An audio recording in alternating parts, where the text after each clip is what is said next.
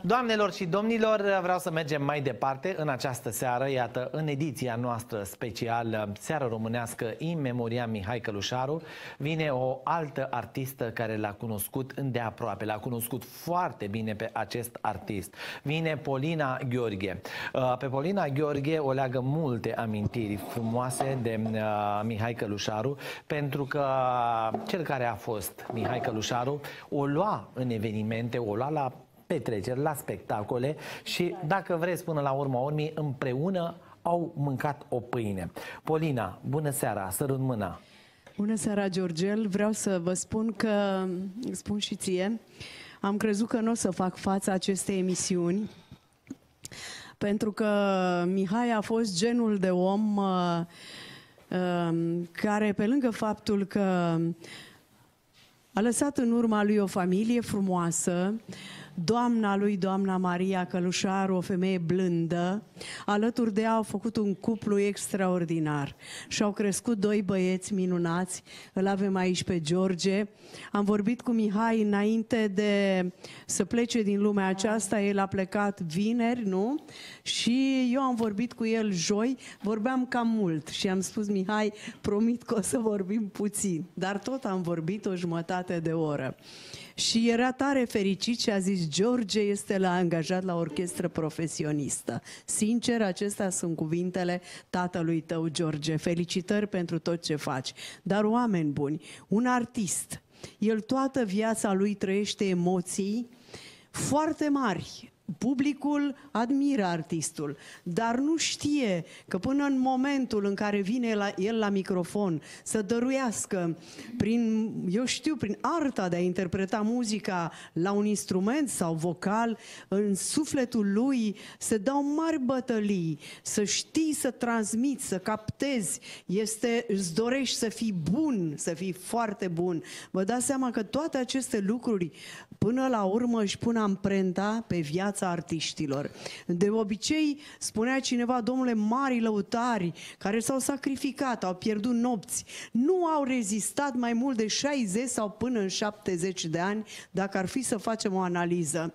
Pentru că acești oameni să dăruiești frumosul, să dăruiești arta ta, Uh, nu este ceva ușor. Mihai Călușaru a avut parte de turnee extraordinare și a prins acea vreme în care el chiar a fost foarte apreciat și mergea cu fluierașul nostru, domnul Zanfira, mergea peste el la, în toată Europa a fost. Poate George știe, poate a avut și în țările arabe. Așa că aveau și un repertoriu foarte bun uh, la taraf, iar el a iubit genul acesta de acompaniament, stil taraf, uh, tradițional, specific satului, ca nimeni altul. Chiar ascultam sonoritatea tarafului lui Mihai Călușaru, astăzi Călușarii, foarte frumos că iată tu, George, duci mai departe pasiunea aceasta a tatălui tău. Pe mine m-a impresionat foarte tare moartea lui Mihai. Dincolo de a fi artist, el știa să fie cu, cu noi, ne dădeam și sfaturi. Și chiar îmi spunea, nu știu de ce, toată vara, când am mai vorbit cu el, îmi spunea, uh, vorbea despre moarte. Eu nu știu dacă acasă a vorbit. Și mereu îmi spunea despre maestru Mogoroașe. Zice, Polina, hai să facem că nu se știe cât mai o să mai fie Mogoroașe pe pământ. Și a fost foarte supărat atunci că eu am vrut să-l invit la o emisiune și atât de tare a suferit și n-a putut să vină. Vedeți, Dar, pe Polina Gheorghe o leagă multe uh, aminte și uh, Polina Gheorghe Am are cântat multe cu de el atât de frumos, el îmi lăsa uh, microfonul să mă joc efectiv cu vocea, dar dar, dincolo de toate, un mare glas al cântecului popular românesc, să vorbim despre cariera lui, care începe de la Teatru Ion Vasilescu. El a cântat acolo alături de maestrul Ion Albeșteanu și lasă în, în uh, fonoteca radio un tezaur de cântec extraordinar și sunt convinsă că și acasă are înregistrări la copză, dar era un om exigent. Un om valoros, un artist valoros. Dragă George, Mihai, uite, nu te vom uita niciodată. Tine în această seară să-ți fie aproape.